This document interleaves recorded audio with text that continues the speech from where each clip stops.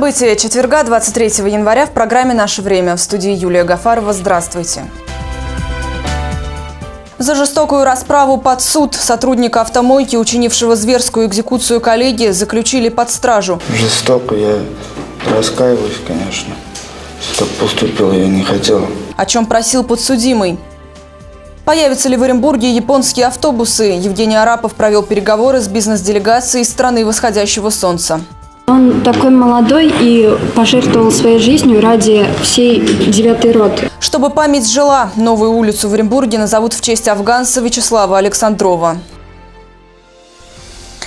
Сотрудник автомойки, убивший своего коллегу, арестован. Сегодня такое решение принял Дзержинский районный суд Оренбурга.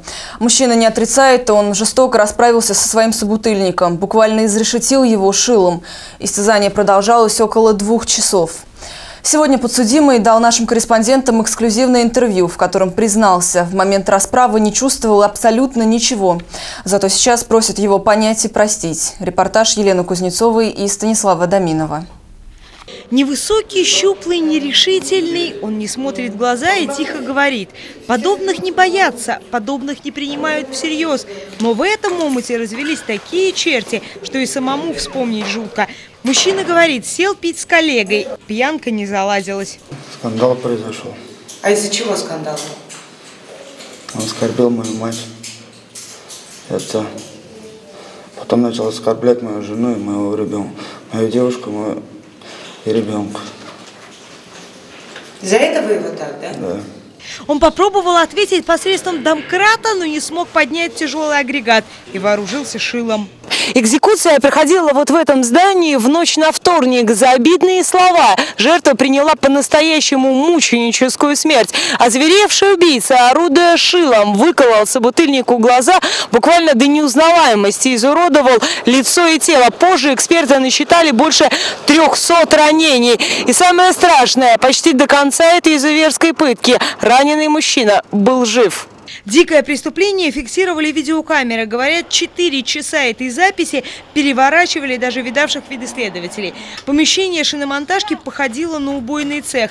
Но и этого извергу было мало. Он попытался изнасиловать жертву. Этого следователи пока не подтверждают, сейчас проводят экспертизу. А вообще от содеянного убийца не открещивается. А, он, да, вызвал скорую и сказал, именно скорая сообщила о том, что совершил убийство. Он и сегодня в суде сразу же признал вину. Жестоко я раскаиваюсь, конечно. Что так поступил, я не хотел. Все алкоголь это. С алкоголем у 26-летнего мужчины проблемы давно, да и жизнь не заладилась. Рос в детдоме, потом жил где придется, бомжевал, был судим. Последний месяц прибился в злополучную автомастерскую. Там и жил, и работал. В общем, суд не увидел ни одного повода, чтобы выпустить мужчину. Суд, выслушав участников процесса, изучив представленные материалы, считает ходатайство следователя подлежащим удовлетворению. Ближайшие два месяца он проведет в СИЗО. За это время Следственный комитет соберет доказательства и, главное, проведут психиатрическую экспертизу. Если врачи признают изверга больным, он отделается лечением. Если он понимал, что творит, может сесть на 20 лет. Сам подозреваемый плачет и надеется на благополучный финал. Хочу, чтобы они... Чтобы меня просили, чтобы поняли и простили меня. Елена Кузнецова, Юрий Мишенин, Станислав Доминов. Наше время. Героин из Самары не успел разойтись по Оренбургу. При въезде в город на проспекте братьев Коростелевых сотрудники МВД задержали двух мужчин, которые прятали в машине 111 граммов белого порошка. Молодые люди, находящиеся, кстати, в состоянии наркотического опьянения, объяснили, что в соседнем регионе приобрели зелье исключительно для личного потребления. Полицейским предстоит выяснить, так ли это. Вместо года армии два года в местах не столь отдаленных. На оренбуржца, уклонившегося от призыва, заведено уголовное дело. Молодой человек прошел медицинскую и призывную комиссию. И осенью прошлого года должен был отправиться в войска. Но в назначенный час на областной сборный пункт не явился. Уклониста сначала искали военные, теперь будут разыскивать полицейские. В настоящее время по уголовному делу проводится комплекс мероприятий, направленных на установление всех обстоятельств преступления. Также по уголовному делу э, местный житель будет допрошен в качестве подозреваемого. В дальнейшем ему будет предъявлено обвинение и направлено уголовное дело в суд для рассмотрения по существу. Э, согласно санкции к статье 328 Уголовного кодекса, фигуранту по уголовному делу грозит наказание до двух лет лишения свободы.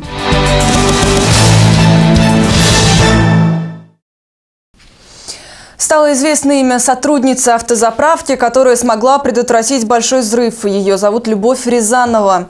Напомню, все случилось на пересечении улиц Театральной и Конституции еще в январе прошлого года. Однако эти видеокадры появились в интернете только сейчас и вызвали большой общественный резонанс. На съемке видно, как двое посетителей заправки подносят к бензобаку автомобиля зажигалку.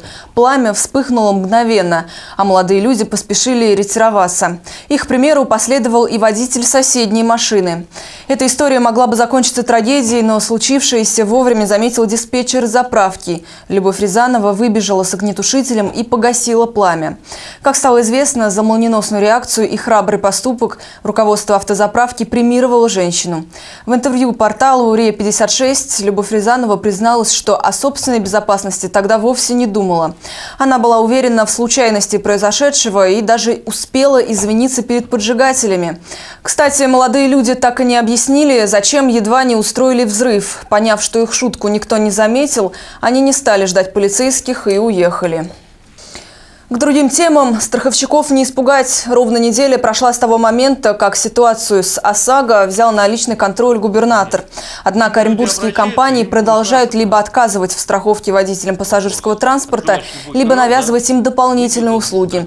Одни по-прежнему ссылаются на отсутствие специальных полисов, другие вынуждают в довесок к автомобилю застраховать жизнь или квартиру. Холодная война длится уже больше полугода, и оренбуржцы пока в ней явно проигрывают.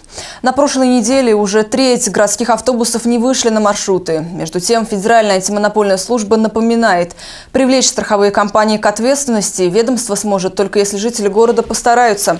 Обращения ФАС должны быть подкреплены доказательствами. Каким-то образом подкреплять свои обращения к нам, потому что доказать данное согласованное действие очень непросто. Поэтому любыми способами фиксировать факт отказа, видеосъемка, э, средства массовой информации, привлекать э, наши местные телеканалы, федеральные телеканалы, да, то есть составлять какие-то какие акты. На сегодняшний день за помощью к антимонопольщикам обратились почти полсотни оренбуржцев. Проверки страховых компаний продолжаются.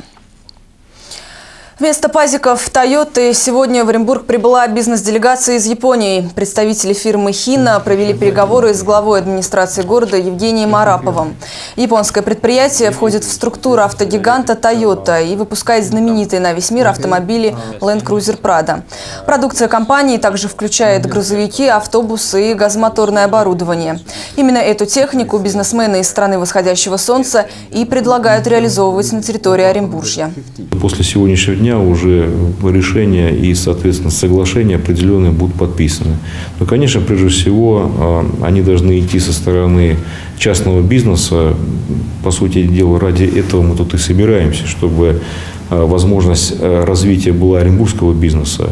И тем более, что компания «Хина» и грузовики данной компании – они ранее а, не продавались на территории города Оренбурга и Оренбургской области, и, по сути дела, ниша никем не занята. А наши бизнесмены, если будут приобретать данные автомобили, я думаю, что кроме хороших отзывов ничего не будет. Шесть проблем сельского хозяйства, нехватка техники, людей и социальные вопросы. О том, что нужно сделать для поднятия села, сегодня говорили на первом заседании Совета при губернаторе по развитию агропромышленного комплекса. В новую структуру вошли представители власти и сельхозпроизводители. Подробности у Юрия Мишенина. Давайте друг другу говорить правду, какой бы она ни была.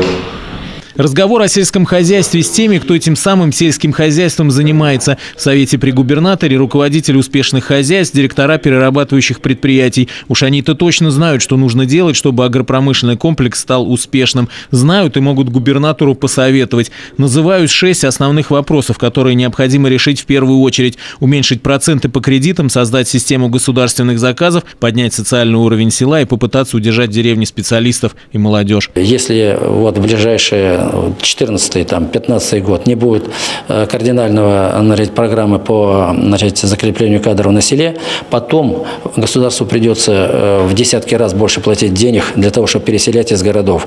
Это не нужно. Нужно сегодня закреплять тех, кто есть. Есть еще предложение увеличить уровень государственной поддержки селу, поднять пусть не до европейского размера в 300-400 евро за гектар, но чтобы хватало на самые необходимые нужды. Но по словам губернатора, здесь делают и так все максимально возможное. Определено государством отдать, ну, образно говоря, 5 рублей из федерального бюджета и 3 рубля из областного бюджета. Мы делаем, несмотря ни на что. Слову, члены Совета могут вносить предложения по изменению законодательства в сфере АПК, так что, возможно, работа здесь не ограничится только местным уровнем. С некоторыми инициативами придется выходить на федеральные структуры. Юрий Мишенин, Константин Воробьев. Наше время. Землю для оренбургских многодетных семей нашли. Желающие получить долгожданные сотки смогут выбрать участки уже в следующем месяце.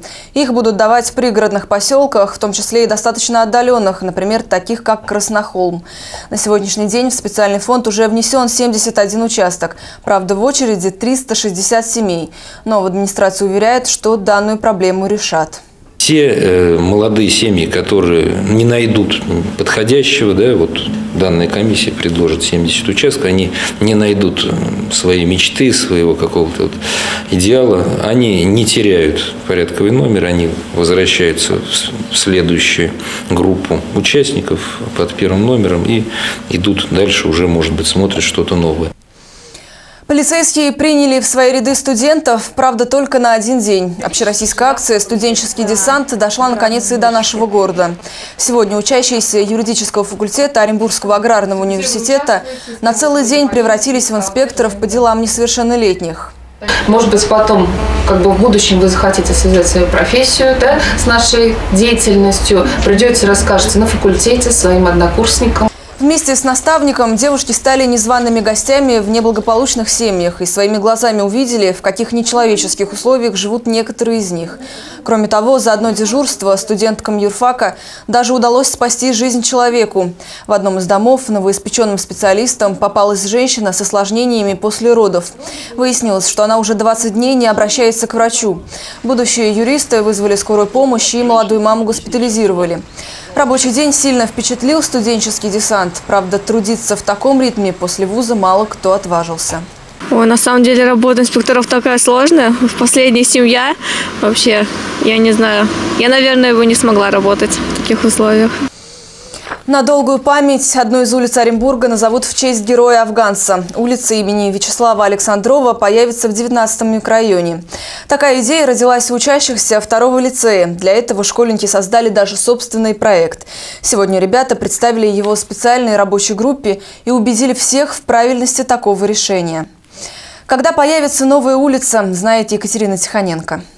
Вообще у нас идея появилась еще осенью этой, и вот мы уже разрабатываем ее. Вообще идей было много. Школьники признаются, что даже планировали назвать улицу в честь всех участников афганской войны. У нас было первоначально множество вариантов. Мы провели социологический опрос, и были такие названия, как, допустим, улица Мирная, Державная, Интернациональная. В конечном итоге выбор пал на героя Советского Союза Вячеслава Александрова. О нем ребята собрали немало материала, советовались и с ветеранами Афганистана, согласовывались с депутатами. И чем больше вчитывались в его биографию, тем сильнее восхищались. Что он такой молодой и пожертвовал своей жизнью ради всей девятой роты. Это о нем в 80-х напишут все местные газеты. Вячеславу Александрову было всего 20 лет, а он уже воевал в Афганистане и участвовал в 10 боевых операциях. Огонь маджахедов был сосредоточен на позиции Александрова. Но, несмотря на это, он приказывает своим товарищам укрыться. Он погиб в 88-м, и в память о его геройском поступке решили увековечить улицу. Она будет находиться между улицами Карпова и Высотной, что в 19-м микрорайоне. Здесь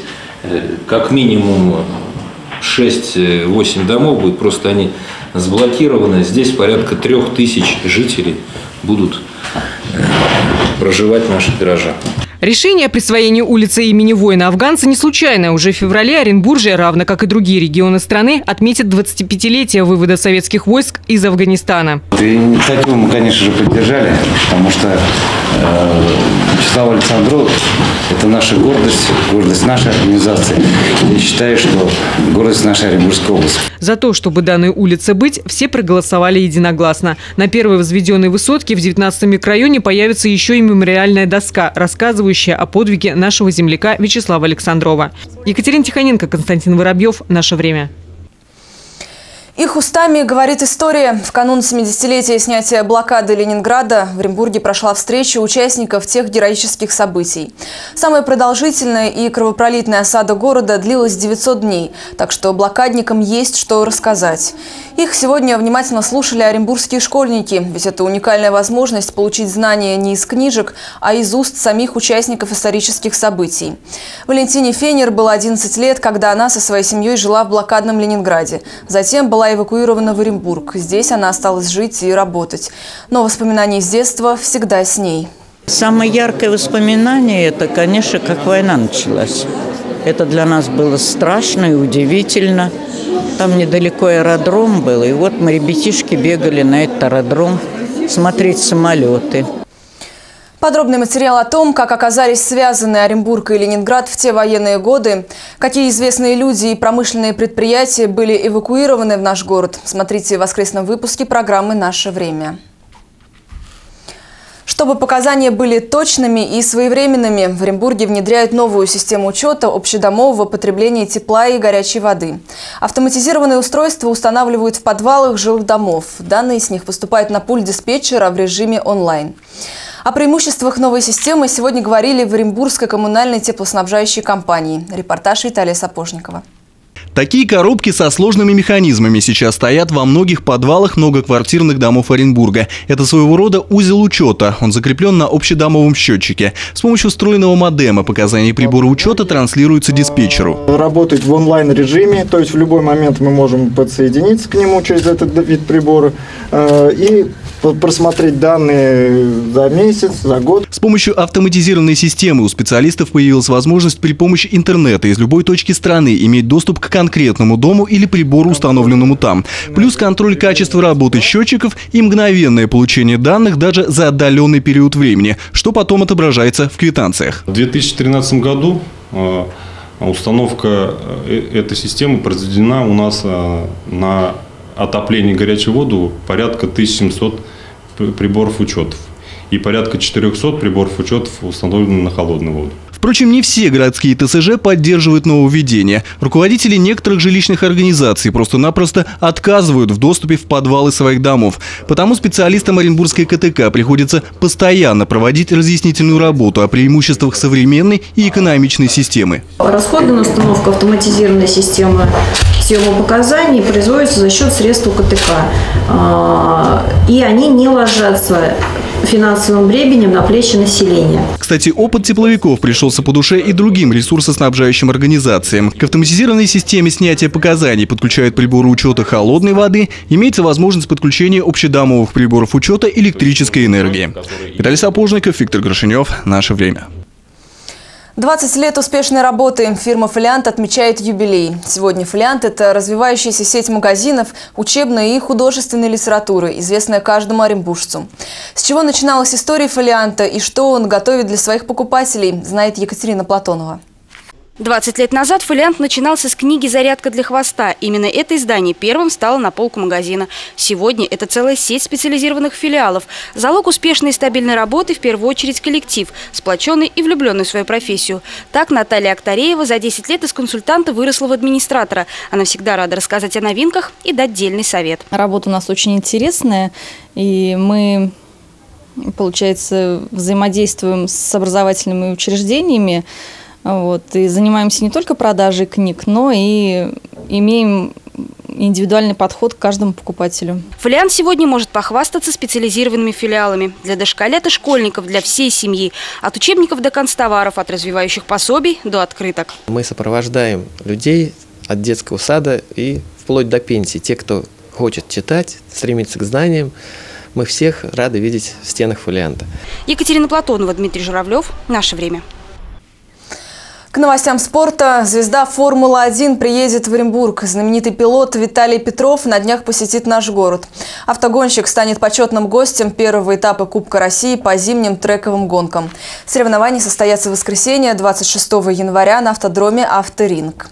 И еще о спорте. Проехались катком. Надежда одержала самую крупную победу на групповом этапе женской баскетбольной Евролиги. Накануне вечером оренбурженки принимали на своем паркете испанский «Ривас». И шансов гостям не оставили – 78-50. Лучшим игроком встречи в составе российского клуба была признана Глори Джонсон, набравшая 19 очков и сделавшая 12 подборов.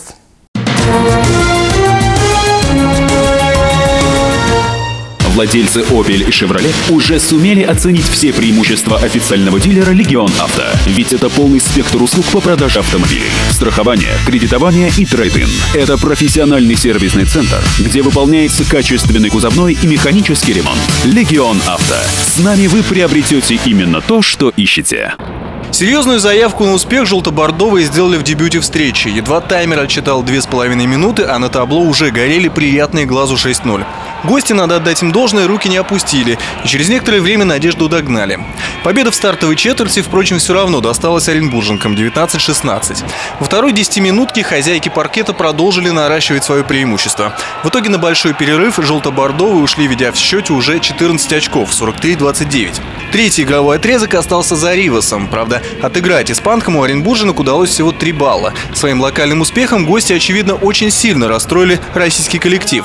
В заключительной четверти Надежда с соперницами не церемонилась. Россиянки выиграли 10-минутку со счетом 25-8, а вместе с ней и встречу 78-50.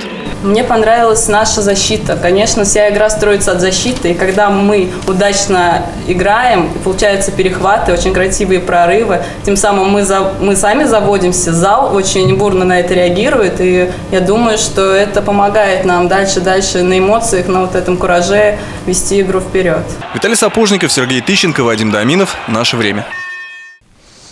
Теперь важная информация об отключениях. Городские электрические сети сообщают, что завтра, 24 января, в некоторых домах областного центра и Оренбургского района не будет электроэнергии. Причина – плановые ремонтные работы. Уточнить всю информацию можно на сайте компании в интернете, а также по телефонам 56 83 38 либо 98 48 48. И напоследок, размер порции еды нужно измерять по руке. К этому выводу пришли американские диетологи. Ученые считают, что таким образом человек сможет контролировать объем потребляемой пищи и предотвратить переедание. По мнению американских экспертов, порция мясного блюда не должна превышать размер ладони, объем углеводистой пищи – размер кулака. А предельно допустимая норма сливочного масла не больше кончика пальца. Вот такие интересные выводы. На этом все. Увидимся в воскресенье в 8 и 11 вечера. Отличного вам настроения. До встречи. Прическа ведущей – салон красоты для Санте.